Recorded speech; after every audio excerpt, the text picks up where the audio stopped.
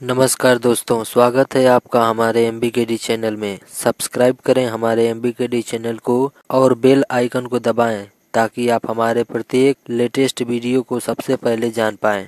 दोस्तों, मैं आज आप लोगों को इस वीडियो में बहुत ही महत्वपूर्ण, बहुत ही कीमती रत्न के चार शब्द बताऊँगा और उन चार शब्दों के बारे में समझाऊँगा। यदि आप इन चार कीमती रत्न को अपने ज़िंदगी में लागू कर लेते हैं तो आप ज़िंदगी में बहुत ही आगे बढ़ेंगे। तो दोस्तों, यदि आप चार कीमती रत्न के बारे में यदि डिटेल में जानना चाहते हैं तो इस वीडियो को लास्ट तक देखें। चलिए शुरू करते हैं।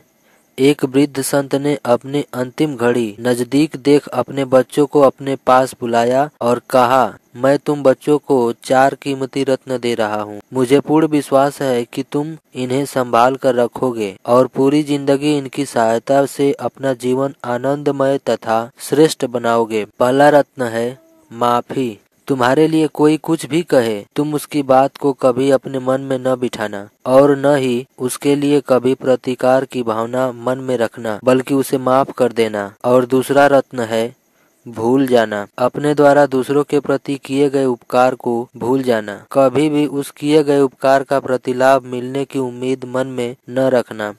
और तीसरा रत्न है विश्वास। हमेशा अपनी मेहनत और उस परम पिता परमात्मा पर अटूट विश्वास रखना क्योंकि हम कुछ नहीं कर सकते, जब तक उस सृष्टि नियंता के विधान में नहीं लिखा होगा। परम पिता परमात्मा पर रखा गया विश्वास ही तुम्हें जीवन के हर संकट से बचा पाएगा और सफल करेगा। और लास्ट चौथा रत्न है वैराग्य। हमेशा यह याद रखना कि जब हमारा जन्म हुआ है तो निश्चित ही हमें एक दिन मरना ही है। इसलिए किसी के लिए अपने मन में लोभ, मोह न रखना। मेरे प्यारे दोस्तों, जब तक आप ये चार रत्न अपने पास संभाल कर रखोगे, तुम खुश और प्रसन्न रहोगे ज़िंदगी भर के लिए। तो यदि हमारा यह वीडियो आपको अच्छा लगा हो तो आप हमारे चैनल को सब्सक्राइब करें, वीडियो को लाइक करें और अपने दोस्तों को शेयर करें। और हाँ यदि आपको इसके विषय में कुछ कहना है तो कमेंट बॉक्स में कमेंट ज़रूर करें। जय हिंद।